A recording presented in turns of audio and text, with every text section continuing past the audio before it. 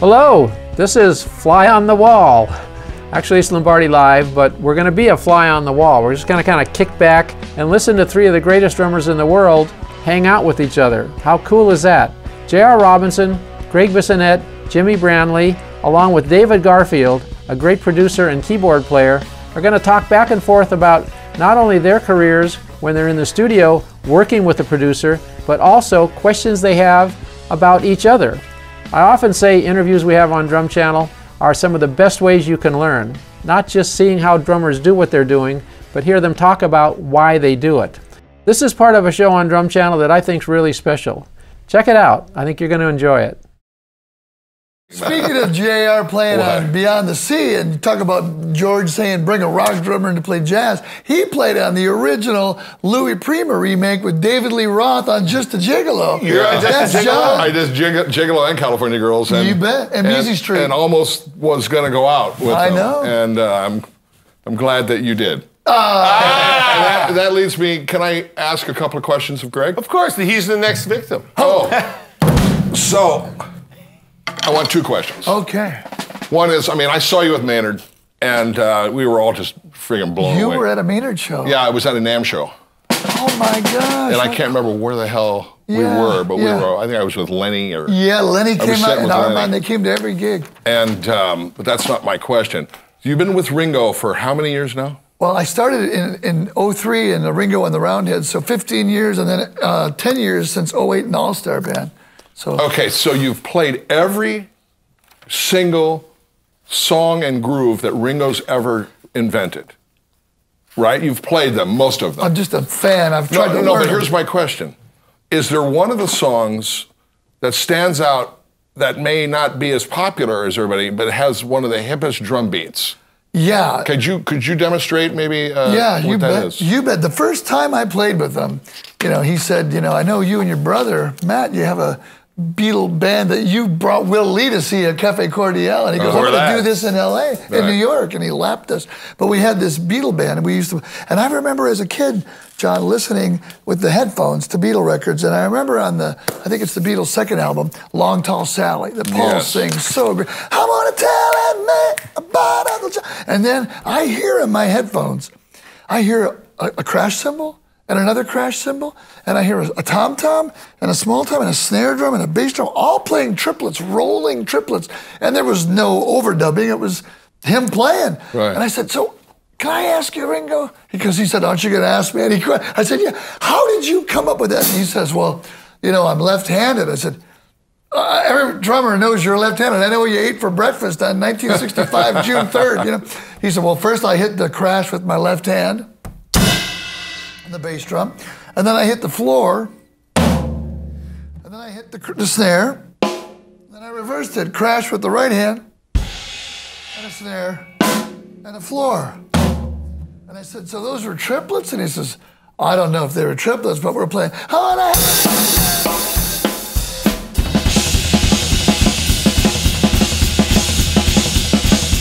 If I wanted the girls to scream, I'd put my head down.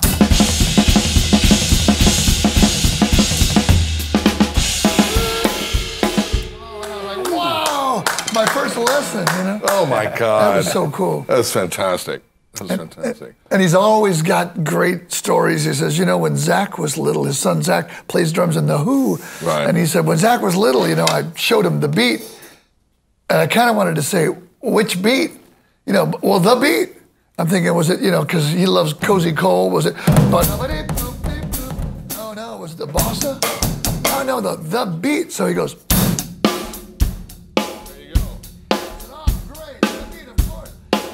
after a couple of weeks, he got it. He really got the feel. So I showed him the other beat, and I thought, so Ringo, what other beat? He said, well, the other beat.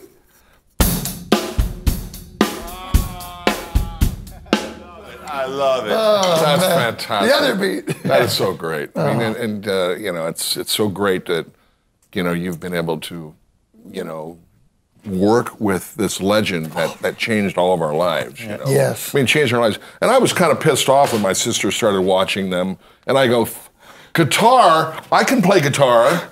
So I started playing guitar the next day. Yeah, You know, yeah. but uh, you know, it was, it was all just really they were the greatest thing ever. I agree. And it's like, how can, how can music get better? Right. And it did. Yeah.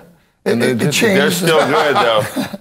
They're still good. That's what's amazing to me is that music's grown and explored and, and expanded and gotten better, but the Beatles stuff still holds up. Oh, That's man. right. So much. That's Yeah. right. He's and my- Ringo, Ringo's a great guy too. He's That's my- on Oh, top yeah. of it all. He's the sweetest I, guy. he, he called me on my. I, I was recording with my brother today, but he called me, and I didn't know who it was because I had my phone off. So I, I listen and it says he's he's out shopping today because we're going on tour in a couple of weeks, and he's he's always busting me because he's he's so in shape. He's a vegan. He exercises, and he's always saying, "Hey, come on, you know, get in shape. We're gonna do the treadmill. What, what you eat? The, you know, we always. He's my guru for food. So he leaves me this message. Say it's on my phone. I'll play it for you. He says. Uh, he says, Gregg, how you doing? I'm out shopping. I'm just wondering what size you are this time of year. I found a T-shirt that would work great for you. I'm going to get a medium, but you might have to lose 100 pounds. and he just loves you because he's just that guy. He's Wow, your friend, you know. fantastic. He's looking to buy you a T-shirt because he's your pal, and he's my favorite drummer ever, and a great friend. That's great. man. Gregg, actually, he was saying, I went to Gregg's uh, house a couple times. And I saw these pictures of Beatles all around. yeah. And that's, it, now that we're talking, it's, and, and he always were very, very into that. And the first thing I heard from you was with David Roth. It was, was a big thing for you to, to, to go into the rock thing. Was it, did you, did you find yourself having to play really loud on those gigs? Well, I was, I am now exactly of the mind of JR. In fact, Ringo sometimes will lean over and he'll say, were we hitting a little hard on that one? And I'll say, if you think we were, goes, Yeah. yeah, because he never redlines the drums. He always just, about the loudest he'll play is, you know. None of this, you know. John Bonham didn't hit that hard. People think he was one of his best friends. Right. He said he didn't hit that hard. You know, and when you look at the way Buddy tuned his drums, That's Buddy right. Rich, it's very similar, you know, wide open 24, boom, but, but he wasn't clobbering them. So, but at 26 years old, I didn't want to be branded, oh, the jazz big band guy, because Maynard was my dream. But I wanted to also, you know, the Beatles were my heroes. I want to play rock. It's my favorite kind of music, pop rock. So, as much as I love jazz and everything else, so I'm thinking, I, David Lee Roth left Van Halen. You did the EP. Yeah. He was still in Van Halen when, Yeah. when JR did Crazy from the Heat. And then I think you were asked and you didn't do it, but Yeah. they started auditioning drummers and I got the gig. And then I'm thinking, oh man, now's my chance to break out and be a rock guy. So I'm like, my hands are bleeding every night, Yeah. Jimmy. Bleeding. I'm on the bus. Yeah? Oh. I'm taping them up, and my fingernails were turning black. I went to a doctor. He said, "Are you a pitcher?" I, said, I said, "No, but I throw my sticker." And I came to Don. I said, "Don, I'm breaking these DW trigger pedals." He goes, "Well, you didn't tell me you were jumping off the riser to bang down." And I was playing so hard because just it was fun. It was the vibe. It was 1986, and the pace, the forum was packed. Hey, did and- you have like the, the huge uh, uh, amplification system behind you? Yeah.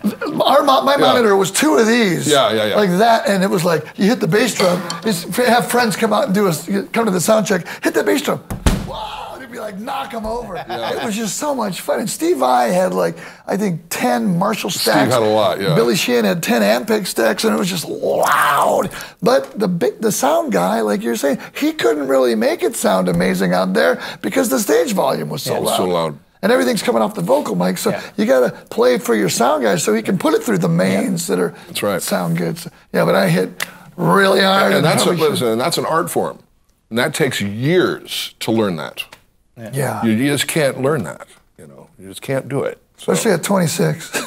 Well, it's been such a thrill to be with my three favorite drummers here Gregg Bissonette, John J.R. Robinson, Jimmy Branly, and um, at the Drum Channel here in Oxnard, California. And uh, we've had a great time talking and um, explaining things, asking questions. And now we're just going to do a little bit of um, jamming and experimenting with a few different grooves for y'all to see how these great drummers work in an unrehearsed and uncharted and even uncomposed situation. So Okay. um, let's do a shuffle. Um, I'm going to have, who wants to start it? One of you two guys. You want, you want to start it? Start Sure. So we're going to do a shuffle, which is one of our great um, grooves, and especially for drums. You'll start it out, and we'll just go where we go. You want to do a Texas shuffle, funk shuffle, rock shuffle? You call The it. Detroit shuffle. Detroit. The this and Detroit that shuffle. Oh my lord. that's kind of like Texas, but north. Okay, do it. It's the this and that.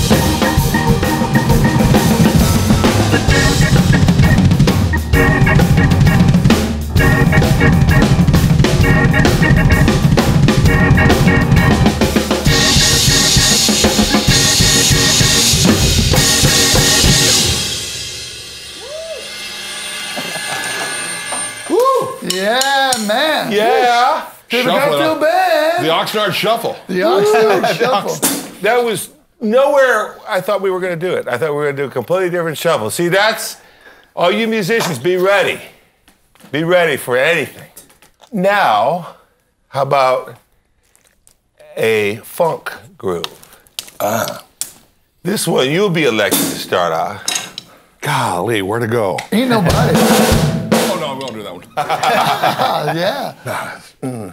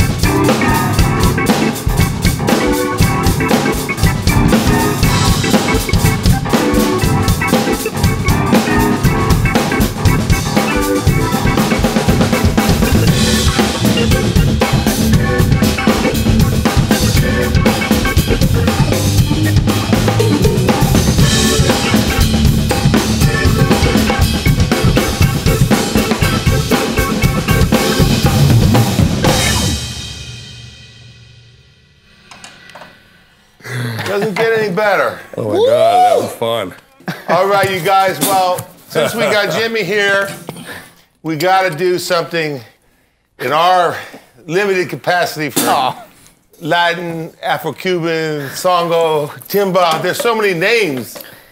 I don't really know what everything is, but we're gonna explore something. Um, uh, you set us up, and we'll we'll find our way there. Hopefully. Okay. Yeah, what a thrill. How about these great three drummers, huh? I hope we get to do this again, and we will be doing some more segments with other of the drummers on the project. So, what a thrill to be here at the Drum Channel. We want to thank Don Lombardi and everybody here for having us. Yep. Thank you. Thank you, Don. Yeah, Don. Thank you, Don. Everybody. And we're gonna we're gonna try something in the what we call uh, Latin, uh, Afro-Cuban.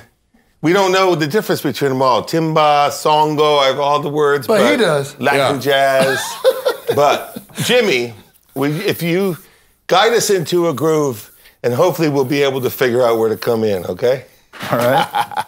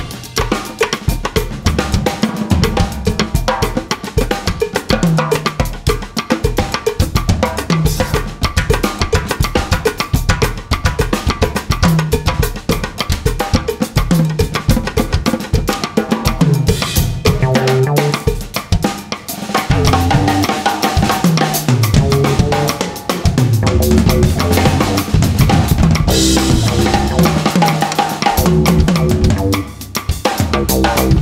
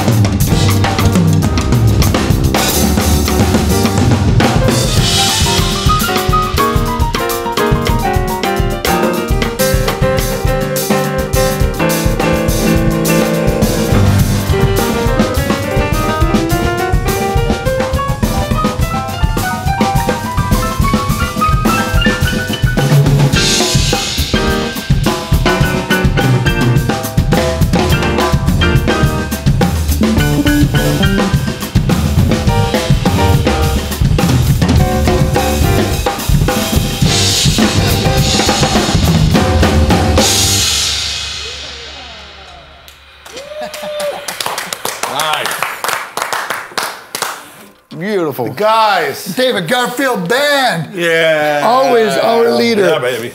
From Oxnard to Studio City, up and down Ventura Boulevard. Cats. Bottom 50. Yeah, baby. Yeah, man. Yeah, David. Thank you all. Thank you all. Thank you, thank you. Thank you. Thank you to the Thank you, Drum Channel. I just think this is so cool when you hear guys of that caliber asking each other questions. When they come out here to Drum Channel, they always are doing that. To capture it on camera, I just think is not only educational, but you know, just gives you an insight as to how our favorite drummers in the world are as excited to learn from each other as we are to learn from them. On DC Live, you're going to see more of this interview. In interviews and roundtables, they actually sit down and talk amongst each other. There's a whole bunch of series we have in originals here on Drum Channel. There's the Chad Smith Show, Terry Bozzio's Art of Drumming, we have jams, historical legends, and as I said, DC Live and roundtables and interviews. Join us here on Drum Channel. If you're not a member, please sign up. And if you are a member, check out everything we have on Drum Channel. Be sure to subscribe to our YouTube channel, follow us on Facebook and Instagram at Drum Channel, and I'll see you next week, Tuesday, 5 p.m., Lombardi Live. Or fly on the wall. Who knows what we're going to do next?